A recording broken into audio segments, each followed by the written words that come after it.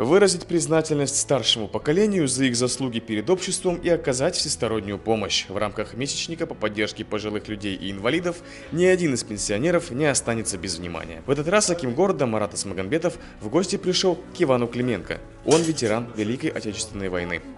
от всей души пожелать вам крепкого здоровья, Иван Клименко – пример для подражания. На фронт его призвали в 44-м. 91-летний ветеран участвовал не только в Великой Отечественной, но и русско-японской войне. На памяти Ивана Трофимовича много боевых сражений. Одно из них – бой у берега Балтийского моря. посадили на танки и прорыв надо было э, к этому берегу вот этого Балтийского моря.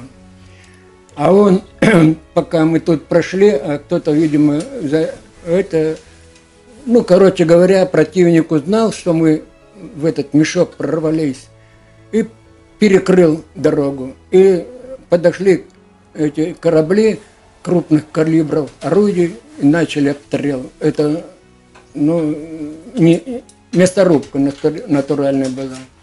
Было 30 человек, вернулись 8.